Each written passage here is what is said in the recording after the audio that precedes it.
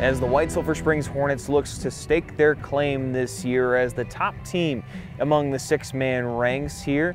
They're doing so without a familiar face on the sideline. That face is Dave Ringers. Ringer, a White Sulphur Springs High School grad, is also a photographer in the area, donating his time and skill to Hornet student athletes, as well as being a mentor to student athletes as the White Sulphur Springs golf coach. Dave is a great guy. He's done so much for the kids in this school since he moved back here. He's a he's an alumni, you know, and uh, he, he, bleeds orange and black. Uh, he's our photographer. You can't, I can't tell you the thousands and thousands of prints he does for these kids and catching special moments for the families. Uh, and it's all donated by him. And you know, Dave is just.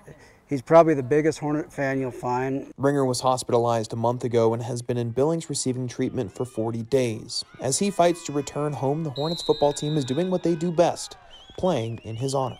Shout out to Dave Ringer there. He came, uh, he's our photographer, had heart surgery, so uh, playing this season for him. With the Hornets being the runner-up in the six-man ranks last year and an unbeaten record to their credit so far this year, they're looking to give Ringer every chance they can to get back on the sidelines, hopefully, at some point this year. I know it would mean the world to these boys and to Dave also. Uh, you know, uh, that's why we're hoping to make our season run into, the, into November, give him some extra time to heal up and make sure he can make it to one of our games. He's always out here, a huge Hornet fan, and you know, I'd love to see him on the sideline this year. While it's unclear whether or not Ringer will be able to return to the sidelines here of White Sulphur Springs football games on Saturdays this fall, there is one thing for sure.